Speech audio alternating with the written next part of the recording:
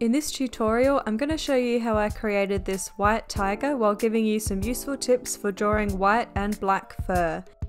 I'm Kirsty Rebecca and I make drawing and painting tutorials that are easy to follow even if you're just starting out. And before I get into the tutorial, I want to give a quick announcement that I am now on Patreon. So, this means that for a very small amount every month, you can get longer, real time, step by step tutorials showing you exactly what I'm doing along the way. And if you're interested in that, I'll leave a link in the description. But this tiger is actually the first video on Patreon, so head on over there if you want to check it out. So today I'm using the Conte pastel sticks, Faber-Castell Pitt pastels, Stabilo Carbothello pastel pencils, and pan pastels. And I'm applying the pan pastels with these soft tools, and that's S O F F T. And I'm working on Clairefontaine pastel mat. So I've transferred my outline onto my Clairefontaine pastel mat paper and you can use whatever method you like. I've actually used a projector for this one, but you can transfer it with transfer paper or you can freehand it if you like. And I've started out by applying pan pastels in the base layer. When you're using pan pastels, make sure that you press lightly and add more pastel to your soft tool if you need to, rather than pressing really hard on your paper.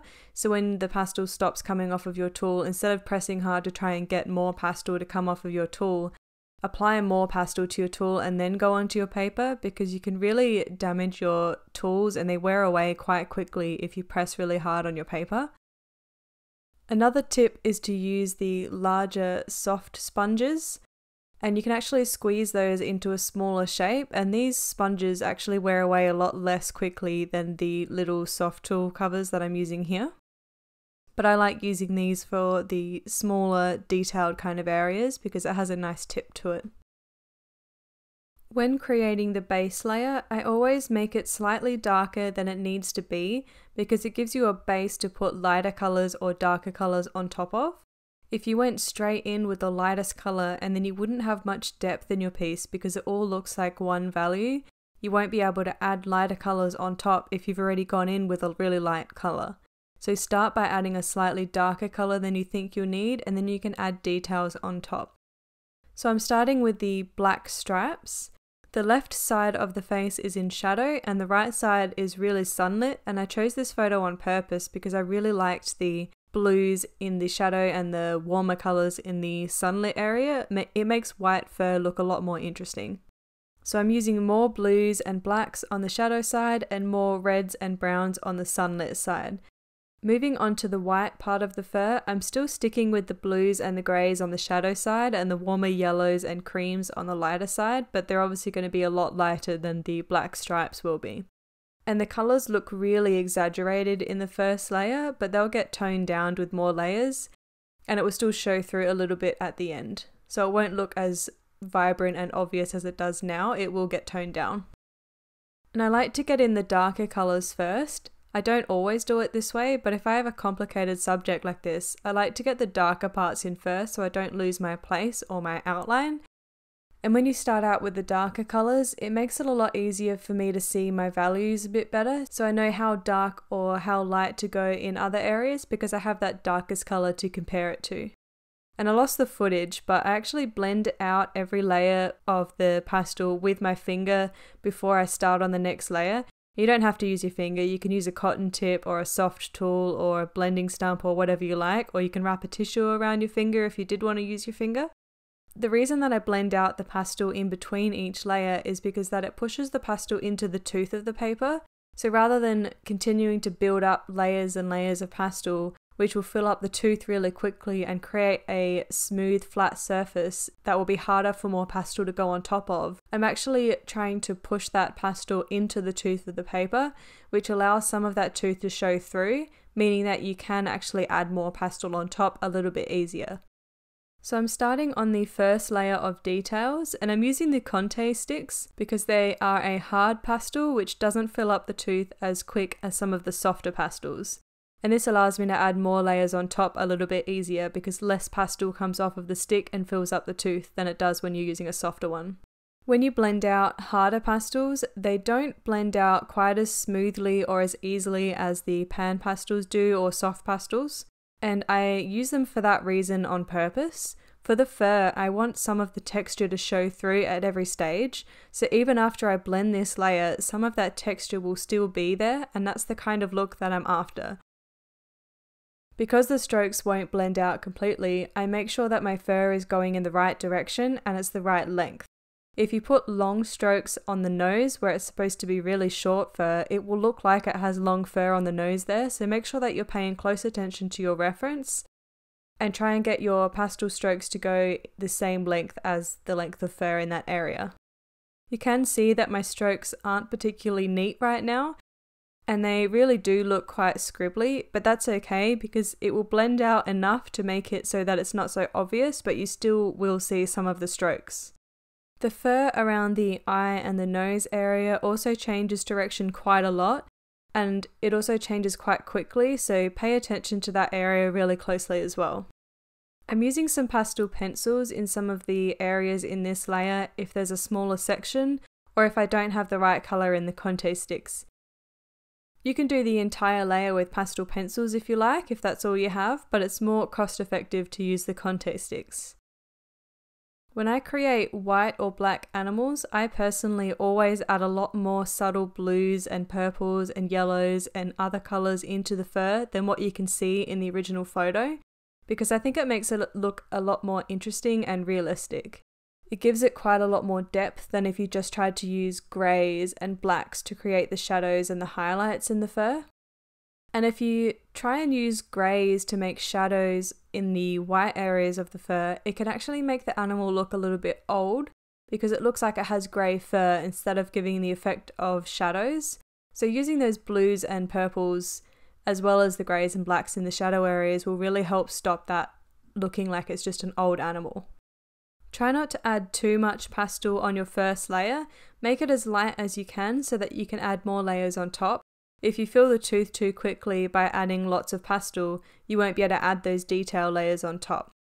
If you don't know what tooth is when I'm talking about it, it's the little grooves in the paper like hills and valleys. So when you add pastel, the hills actually catch the pastel and slowly you'll add more layers and fill up the valleys. Once your valleys are full, the surface is now even and flat and there's nothing for the pastel to grab onto, so you'll struggle to add more layers. So I'm actually blending this layer out with a cotton tip and you can use a blending stump or anything else or your finger if you like. And there are heaps of ways to blend out the pastel, but I do like using the cotton tips because they're small enough to keep the details there and get into those smaller areas, but they're also quite cost effective and I always have them around. I've started on another layer using pastel pencils to start getting in some of the fur details. And I'm using more cooler blues and greys on the shadow side and warmer reds and yellows and creams on the sunlit side. And you can use whatever pastels you like for this, and I'm mixing it up between the Conte sticks and the pencils depending on what colour I need. The Conte sticks are a bit more vibrant than the pencils, so I like to use the blacks and the whites and the brighter colours of the Conte sticks for some areas instead of the pencils. And there's no rules to this, I'm basically just building up my layers and adding more detail as I go along. I'm also keeping in mind that after each layer, I will blend out the pastel. So until I get my final layer, I don't want to put too much detail in there because I'll have to redo it once it's blended out. When you're drawing white or black fur, the most important thing that will help you is a good reference photo. Try and pick one that has really high contrast. If you pick a photo that is evenly lit all over, in my opinion, it doesn't look as interesting and it's harder to create a piece that looks 3D or like it has depth if there isn't a big contrast between the highlights and the shadows. I try and choose one that has blues in the shadows and warmer colours in the sunlight, or basically choose a photo that has more colour showing through when you look past the fact that it's a white animal. To make it easier for myself to see some of those blues or yellows in the fur, I actually import my photo into a photo editing app or a program and I usually just use Microsoft PowerPoint because I don't really need anything fancy for this. I just hype up the saturation a lot so that the colors are very obvious. And I won't draw the piece exactly like this, but I'll definitely use some of those colors more subtly in those areas to make it look a bit more interesting. Looking at the reference photo like this shows that the white fur has so many different variations of colour in it and it's only pure white in the really highlighted areas. If you're taking on a white pet or animal as a commission, try to get a reference photo where they've taken the photo outside in natural light, but in the shade so that the sunlight isn't directly shining onto the fur, but it's lit by natural light. If the reference photo is taken inside, especially for white animals, it can make the fur look yellow or dirty, and it's it's not a very accurate representation of the color of the fur. And it just doesn't look as good as if it was taken outside or by a window. And if you're doing it for a commission, it can be a lot harder because sometimes the pet has passed away and you don't have many photos to choose from. It's incredibly difficult to accurately make up details that aren't in your reference, especially for pet portrait commissions because it has to be exactly like the individual pet, down to every marking that the pet has. Not only is it difficult for an experienced artist to do that, but it's even more difficult for people who are just starting out.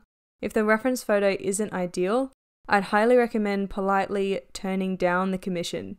Explain that you don't believe you can create a high quality portrait from this photo because it's not worth accepting the commission only to have your client be let down because it's not the same quality as your previous work. It can also damage your reputation if you've got a lot of work that is really great and then you've got some random pieces of work that weren't so great and it's not even your fault. Your artwork might have been as good as it can possibly get, but because you've used a poor reference photo, that's going to show through in your own work.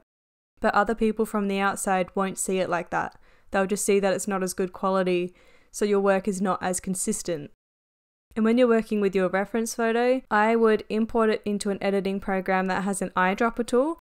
And I just pick out some of the colors in different areas and create swatches of those colors because your eyes can really play some tricks on you, especially with white fur, because you'll think it's a certain color, but in reality, it's usually not the color you thought it was. So, creating swatches really helps me out. And I'll leave a link in the description to a video where I've drawn a white dog on white paper. I explain exactly how to choose and edit a reference photo, and this tutorial also has more tips about drawing white fur. When it comes to sharpening pastel pencils, a lot of people seem to have issues with it, and I did as well when I first started out. But I've learned that pastel pencils are never going to be as sharp as a colored pencil or as a graphite or any other sort of pencil like that because they're quite a lot softer. And if you do get it to a really fine point like that, it will most likely crumble and snap when it hits the paper. So I've learnt that if you use a craft knife to peel away the wood casing of your pencil just to reveal the pastel that's underneath, that's as sharp as you need it for most of your project. You don't really need those fine details right until the end. So when you do need those fine details, you can use a manual crank handle sharpener. And I find that these tend to not break the pastel pencils as much as other sharpeners do.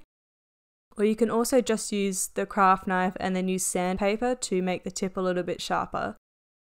But if you try and sharpen your pencil throughout the entire process to get a really sharp point, you'll find that you'll sharpen away a lot of your pastel and you'll end up wasting a lot. But I have a link in the description to a video that I created about sharpening pastel pencils specifically, so if you want to check that out, that's down there for you. When you're working with fur, especially white or black fur, it actually reflects the colours in the surroundings. So, most of the time, if the dog is outside, there will be blue in the fur because of the sky. And sometimes you'll see reflections of the grass or anything that's in the background. You'll be able to see hints of those colours in the subject itself.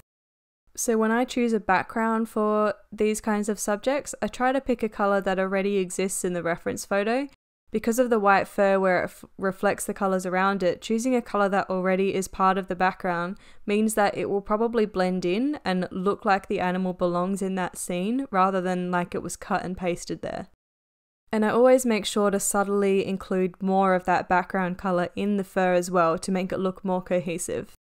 When adding whiskers or highlights, if you're struggling to get that extra layer on top, Try switching to a softer pastel like a Rembrandt soft pastel stick or another softer pastel. And if you need that really fine detail like for the whiskers, try using the Caran d'Ache pastel pencils because they're much softer than the Derwent, the Faber-Castell or the Carbothello.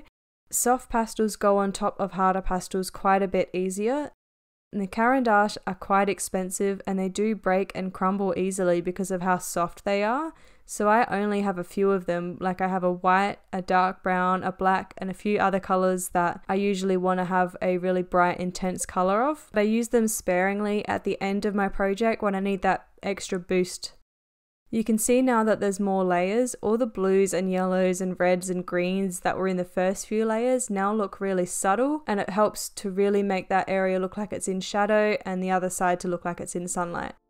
I've got a playlist on the screen with some other pastel tutorials that I thought you might find useful and I've also got that tutorial of the white dog on the white background for you if you want some extra tips on choosing a reference photo and working with white fur. So click on those and I'll see you over there.